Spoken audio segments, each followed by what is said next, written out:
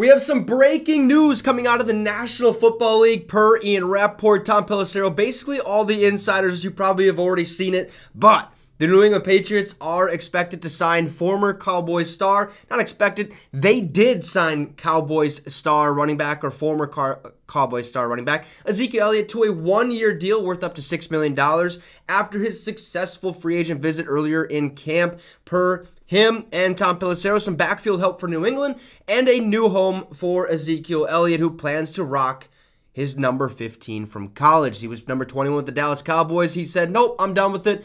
Back to my Ohio State Buckeye days. I'm going to wear number 15. I really like this signing. This is a perfect one for the New England Patriots. Uh, him and Rhamondre Stevenson are going to be able to complement themselves like each other perfectly. Look, Zeke has been on the decline. Okay, hasn't really found his groove at all as, as of late, and that's why the Cowboys decided to get rid of him and roll with Tony Pollard. Plus, Pollard at this point in time, I think maybe a little bit cheaper than what Zeke would have been. Uh, but this is a perfect deal. Now, what does that say for the running back market? Not really sure.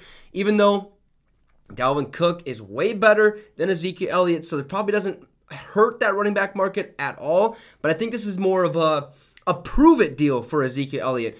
Plus, Bill Belichick, we already know, doesn't like to pay running backs, okay? You're to come in here, you're to do your job, and then you're to leave. That's all that's all we're to need you for, okay? You can go get money elsewhere. That's what Bill Belichick has always done. His running backs, I mean, I don't even remember the last time the Patriots had a superstar. I'm talking superstar running back. You can maybe say LeGarrette Blunt, but at the same time, he really wasn't a superstar. Okay, Curtis Martin, I think way back in the day, I could be wrong on that. That that was a long time ago, even though I know he was a Jet and stuff like that. But this is a great signing. If we're looking at their depth chart right now, and Rhamondre Stevenson going to be the go-to guy. All reports are saying the New England Patriots love Rhamondre Stevenson. We've seen it last year. He was a dog, okay? Now they add Ezekiel Elliott to the mix, who is probably going to be there, or not probably. He is going to be that backup running back. Nice one two punch, able to get it done both rushing and receiving. And then you look at Ty Montgomery, the second right behind him. And what does that mean for Pierre Strong? Not really sure. Kevin Harris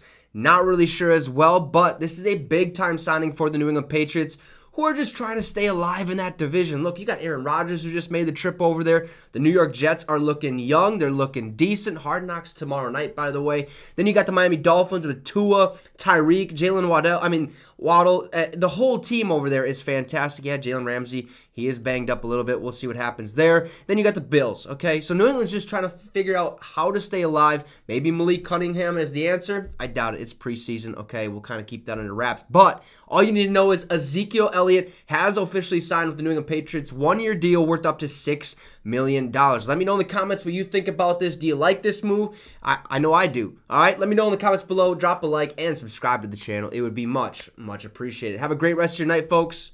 And you just got your fix with the Wicks.